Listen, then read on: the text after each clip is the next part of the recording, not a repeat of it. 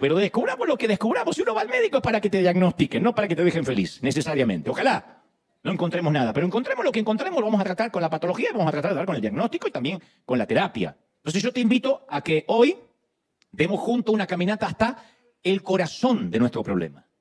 Que dejemos que el Señor nos ausculte con su estetoscopio y que luego nos someta, si es necesario, a un arteriograma espiritual. En lugar de buscar la validación y la felicidad en otros, Gebel nos insta a encontrar nuestra plenitud en Dios y en una relación personal con Él. Solo en Dios podemos encontrar el amor incondicional y la aceptación que anhelamos, liberándonos de la necesidad compulsiva de buscar la aprobación y el amor de los demás. En resumen, en esta parte de la prédica Río Arriba de Dante Gebel, profundiza en la idea de cómo la búsqueda obsesiva del amor romántico y la validación externa puede llevarnos al autoabandono, Que vea qué es lo que está bloqueando las bendiciones de Dios, las, eh, las recompensas del Señor. Hay algo que a esta altura del año está bloqueando lo que Él preparó para nosotros. Entonces yo como comunicador, como pastor, tengo dos eh, opciones. Insisto, te doy una aspirina y te mando a casa feliz para que después te enteres que la basura regresó o vamos al corazón del problema, al cabezal. Por eso mismo Jesús nunca se detenía en el comportamiento externo, en la vestimenta de la gente, sino en el corazón de las personas. En Mateo 15, 17, Jesús le dice a los líderes religiosos, ¿no se dan cuenta? Ustedes que están siempre discutiendo qué se puede, qué no se puede comer, ¿no se dan cuenta que lo que entra en la boca va al estómago y después se echa en la letrina? En otras palabras, están discutiendo qué se puede, qué no se puede y eso va al inodoro. Lo que sale de la boca y viene del corazón, eso es lo que contamina a la persona. Dante también aborda la idea del amor narcótico, que es la creencia errónea de que las relaciones sentimentales pueden dar sentido y completitud a nuestras vidas. Argumenta que esperar que otros nos completen o nos hagan felices es un error, ya que ninguna persona puede cumplir esas expectativas de manera sostenible. En lugar de buscar la validación y la satisfacción en otros, nos llama a buscar nuestra plenitud en Dios y en el proceso de autoconocimiento y crecimiento personal destaca la importancia de no buscar soluciones superficiales o rápidas para nuestros problemas, sino de abordar sinceramente nuestras necesidades más profundas y encontrar sanación y plenitud en una relación genuina con Dios. Corazón, agrega el Señor, salen los malos pensamientos, los homicidios. Fíjense que malos pensamientos están en la misma lista de los homicidios. Chismear es lo mismo que matar para el Señor. Se rió una asesina. Los adulterios, la inmoralidad sexual, los robos, los falsos testimonios, las calumnias. Esto deberían leerlo todos los haters y los que están siempre odiando en las redes, que piensan que pecado es lo que se hace y no lo que se escribe. Las calumnias, los falsos testimonios. Todo eso sale de un corazón pútrido, con mugre, que apesta. Lo dijo el Señor. Génesis 29 nos habla cómo Jacob trabaja los siete años acordados para Labán con la esperanza de casarse con Raquel. Sin embargo, al final de ese tiempo, Labán engaña a Jacob y le da en matrimonio a su hija mayor, Lea, en lugar de a Raquel. Jacob, decepcionado y frustrado, confronta a Labán, quien le ofrece casarse también con Raquel a cambio de otros siete años de trabajo.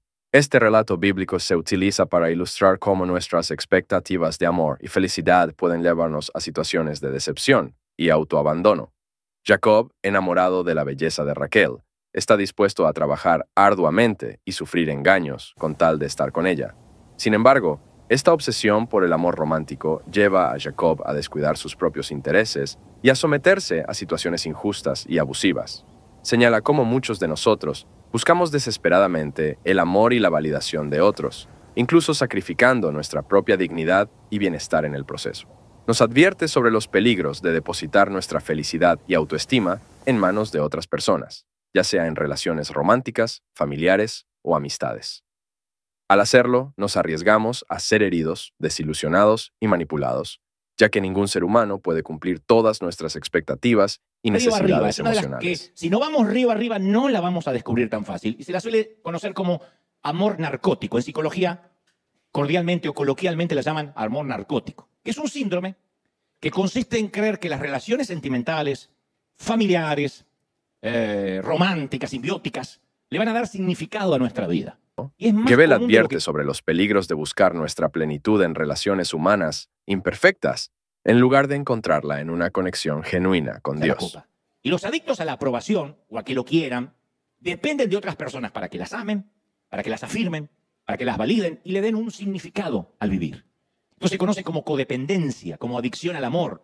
Por eso decía que en un término más coloquial le dicen amores narcóticos, que tiene que ver con estar drogados con una necesidad, o estar adictos con una necesidad a que nos amen. También Es aborda la idea de idolatría en las relaciones humanas, señalando que buscar en otros la completa satisfacción y significado puede llevar a la Alguien nos decepción. dijo esta frase, alguien nos dijo, por ejemplo, no es que lo nuestro no funcione, pero necesito salir un poco y tener mi espacio.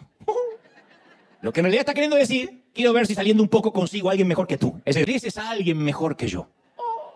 Lo que está diciendo es me merezco a alguien mejor que tú. Eso es lo que está diciendo. Vamos a darnos un tiempo. En realidad está diciendo solo necesito 24 horas para desaparecer por completo. Dice, no eres tú, soy yo. Es tú, soy yo. No, no, no sé lo que me pasa. En realidad está diciendo, no te quepa la menor duda que sé lo que me pasa. El único culpable eres tú y no se me ocurre otra manera elegante de sacarte de mi vida. Escuchen estas palabras que son geniales, porque a quien no se nos ha dicho eso o dijimos nosotros a alguien, es algo que suele pasar en nuestras vidas y nosotros creemos que es así, pero no en el fondo tienen otro significado. Alguien dice, me gustaría que por ahora seamos solo amigos. Oh. ¿Sabes lo que significa? No vuelvas a llamarme ni a escribirme o a tratar de contactarme nunca más en tu perra vida. Eso significa. Lo diré otra vez. Eso en esencia, esa necesidad de que nos amen, que nos quieran, es un acto de autoabandono. Porque en lugar de encontrar nuestro valor en Dios, decidimos entregar nuestro corazón en adopción a otro ser humano.